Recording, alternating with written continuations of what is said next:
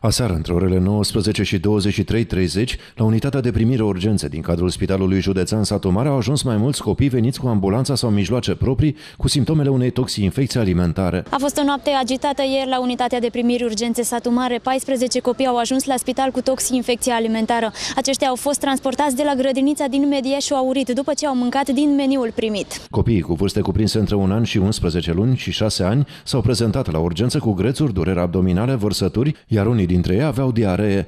Imediat după anunțarea evenimentului s-a constituit o echipă operativă alcătuită din conducerea spitalului și medici pediatri cu specialitatea boli infecțioase.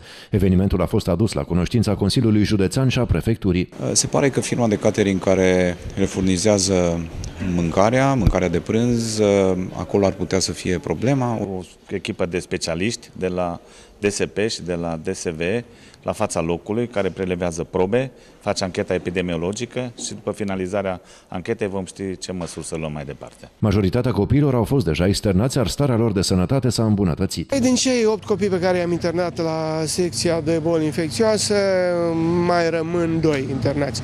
Pentru cei la 6, la care simptomatologia a dispărut aproape complet, copiii echilibrați din toate punctele de vedere, se întocmesc în momentul de față documentele pentru externare. Conform protocolelor existente, a fost anunțată Direcția de Sănătate Publică și Direcția Sanitar-Veterinară. Astăzi o echipă mixtă a ajuns la Medieșu Aurit pentru a preleva mai multe probe de la grădiniță. Ca și măsuri uh, dispuse până la acest moment, uh, au fost prelevate de la nivelul celor două uh, unități, respectiv cea care a preparat alimentul și grădinița cu program prelungit din localitatea Medieș. Au fost prelevate probele alimentare identificate în aceste unități, au fost efectuate prelevări de probe biologice de la personalul care a desfășurat activitatea în uh, unitățile respective și au manipulat produsele alimentare și au fost efectuate câteva teste de sanitație. Cazul nu este unic în județul Satu Mare. La începutul anului, un grup de elevi din Odoreu a ajuns la spital după ce au consumat laptele primit la școală.